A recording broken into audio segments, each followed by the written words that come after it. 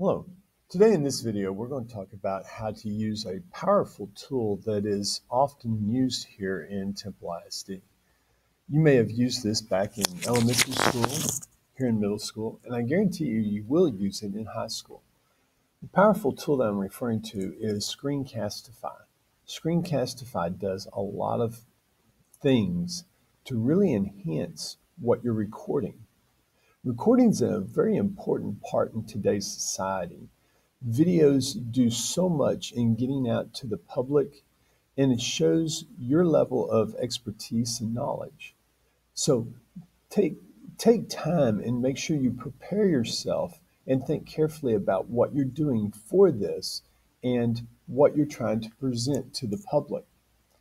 There are a lot of people that make a lot of money from home just doing simple videos.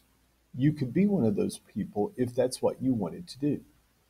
First off, what we're talking about is an app called Screencastify.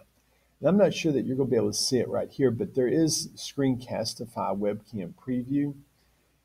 Also, right up here, there's a little extension that you can download into your web uh, your web browser that's called Screencastify.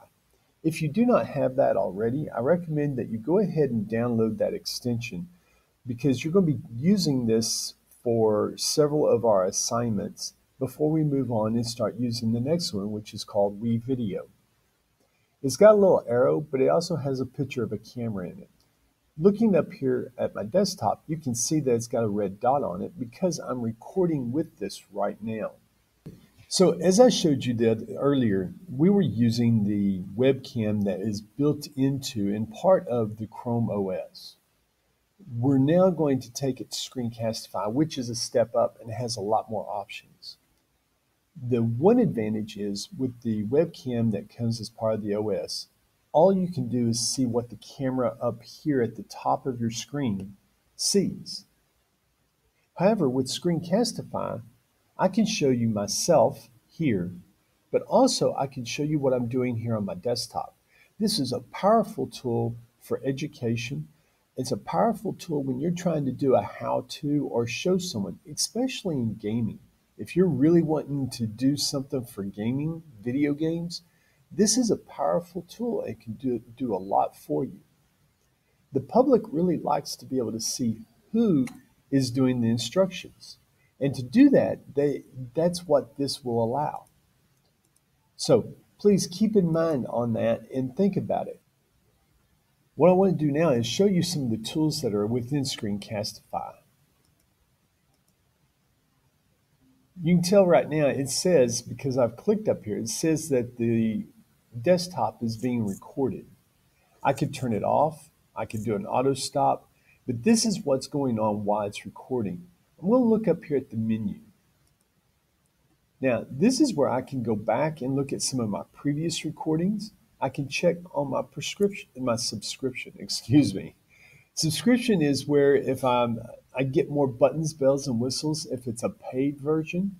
We have a license that the school district has purchased for teachers and students. So even as a student, you can do more through the school district than you could if you set up your own private account.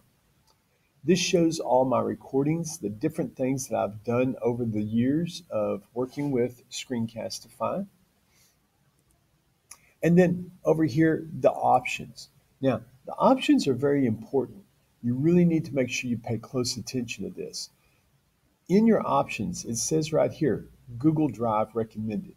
This will create a folder and save your videos in Google Drive. You really want to do that. The Chromebase and the Chromebooks have very, very small amount of storage on them. If you use your local drive, you're going to use up that storage really quick and you're going to have difficulties. Whereas by putting it out there in your Google Drive, not only do you have a lot more storage, so you're not going to use it up as quickly, but the other advantage is it follows you around. So you might be able to work from one Chromebase to another Chromebase to a Chromebook laptop and then work on it at home. So you have a lot more options and flexibility.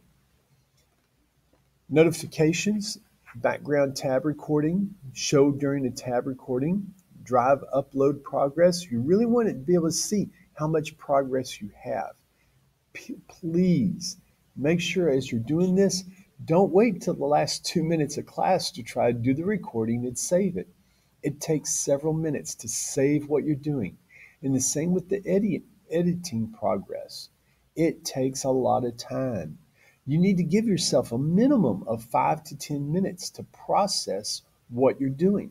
And with our network being so slow lately, you could you might even need more time than that. Don't wait to the end of class to try to do this. You can set up some keyboard shortcuts. These are some settings. I really encourage you to leave this alone, but pay attention to what you can do. You may want to go in there, for example, on low disk space.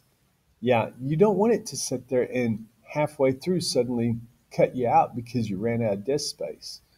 Pay attention. Report anonymous usage, I leave that alone. You don't need to worry about that.